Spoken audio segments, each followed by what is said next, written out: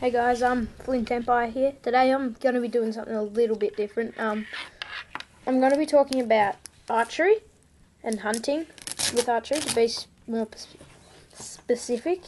Sorry, I'm not too good with words. Um, but yeah, so the base, like the very basics of what you're going to have to do to get started. Um, when I first started, I started off with just a really basic bow, you know, single string, very basic, no sights on it or anything, just handle, wood, and string, and then like a little resting for your arrow. I also got this wrist guard.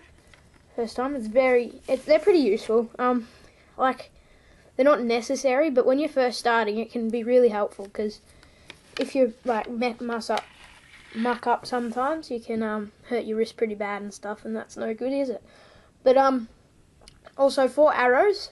I recommend just getting some target practice arrows first up. They're cheap and like in Australia, they're only nine bucks. That's pretty good for arrows, and that's pretty good price. Like just practice with that. Like keep getting hitting the target and get your aim up real good.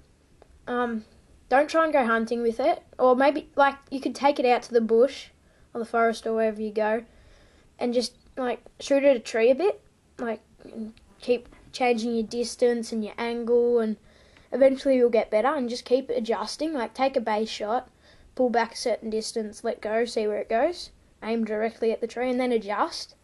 It, it's it's similar to shooting, but there's a lot of different things that you're going on while you're doing it. Also, um, once you've done all that, so you've you've gotten pretty good with just shooting targets and trees and small objects, so like maybe some cans if you get good. Um, then you might want to upgrade your bow. Get maybe a, a you could stay with a single string, but get something more powerful. So it's got a, a high draw rate, and you can you can pull it back further, and it's got more power in it. And maybe with some optics, like not not like holographic sights and all that crap, just like an iron sight, but a, a good iron sight. But then you get some better arrows as well. I just I have carbon fiber hunting arrows. That's they're pretty pretty good, but yeah.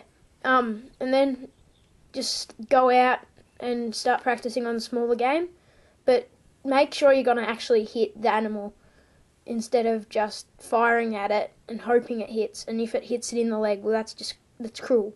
You want to be able to be confident that you're going to hit to kill. And yeah, um, that's pretty much it for this video, guys. Thanks for watching. Please comment, rate, and subscribe. Cheers, guys. See ya.